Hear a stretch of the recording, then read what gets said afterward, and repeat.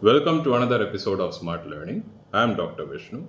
So many people ask me this question as in how to remember things, how to, you know, connect the dots and study. How is it possible to remember things? Because many people, including myself, have struggled with this problem of, you know, we crack the exams but we forget to retain what we learned. So in this video, I'm going to share some tips as in how you can remember things for a longer period of time. Policy number one, you should always have the habit of reading simple books. You know what happens is we always go for standard books, but standard book means the knowledge provided is also of high standard.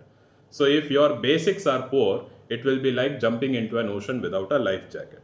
So first you focus on your basics and once your basics are good, then you can upgrade yourself to higher level books whenever you want. Policy number two, always make your own notes. I have always the habit of making my own notes and through my notes only I share my reels, I share whatever I have learned with all of you. So my memory gets improved.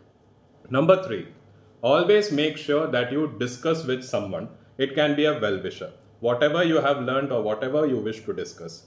Because always remember that knowledge shared is knowledge doubled. So have the tendency to discuss things with people.